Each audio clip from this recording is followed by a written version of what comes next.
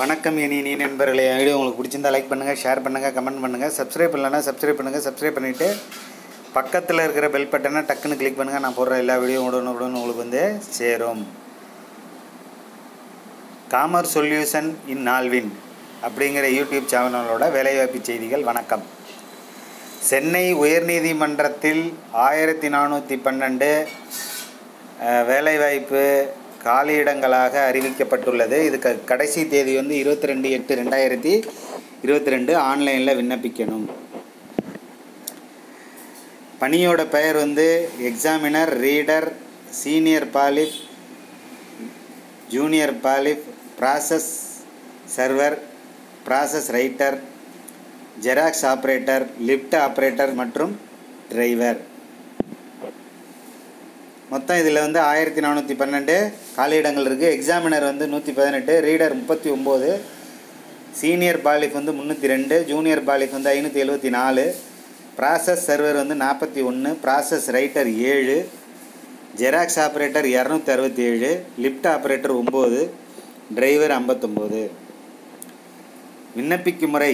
இது ஒன்று ஏழு ரெண்டாயிரத்தி நாலுக்கு பிறகு பிறந்திருக்கப்படாது ஒன்று ஏழு ரெண்டாயிரத்தி இருபத்தி ரெண்டு அன்று பதினெட்டு வயது பூர்த்தி ஆகிற பூர்த்தியானவராக இருக்கணும். அதிகபட்சமாக முப்பத்தி ரெண்டு வயது இருக்கலாம்.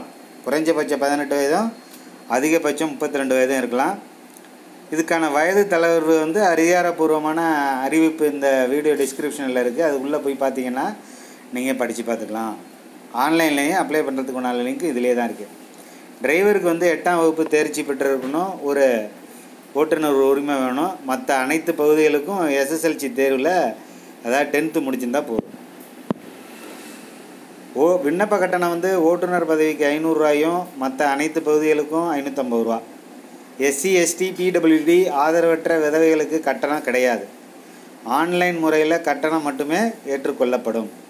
சம்பளம் வந்து எக்ஸாமினர் லெவல் எட்டு பத்தொம்போதாயிரத்தி ஐநூறு பேசிக்கு எழுபத்தோராயிரத்தி தொள்ளாயிரரூவா அதோட சேர்ந்து வரும். ரீடர் லெவல் எட்டுக்கு பத்தொம்பதாயிரத்தி ஐநூறுலேருந்து எழுபத்தி ஓராயிரத்தி தொள்ளாயிரம். ஜீனியர் ஃபாலிப்புக்கும் அதே தான்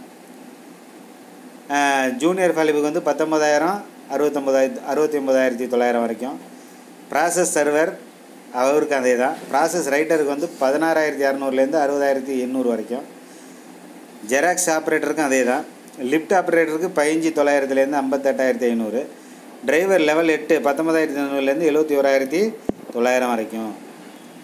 அதாவது விண்ணப்பிக்க தொடங்கிய நாட்கள் வந்து ஜூலை இருபத்தி நாலுலேருந்து ஆன்லைனில் அப்ளிகேஷன் போடுறதுக்கான தேதி குறிப்பிடப்பட்டிருக்கு. நீங்கள் ஆன்லைனில் விண்ணப்பிப்பதற்கான கடைசி தேதி வந்து இருபத்தி எட்டு எட்டு ரெண்டாயிரத்தி இருபத்தி ரெண்டு. விண்ணப்ப கட்டணம் செலுத்த வேண்டிய கடைசி நாள் இருபத்தெட்டு எட்டு ரெண்டாயிரத்தி இருபத்தி ரெண்டு. விண்ணப்பிக்கும் முறை அந்த சென்னை உயர்நீதிமன்றத்தோட இணையதளத்தில் போய் இந்த வேலைவாய்ப்பு இருக்கக்கூடிய பகுதியில் லிங்க் மூலியமாக ஆன்லைனில் நீங்கள் பதிவு வச்சுக்கலாம். இதுதான் இந்த வேலைவாய்ப்போட ஒரு ஷார்ட் லிஸ்ட் செய்யப்பட்ட விளம்பர அறிக்கை. இது செய்தித்தாளில் வந்தது.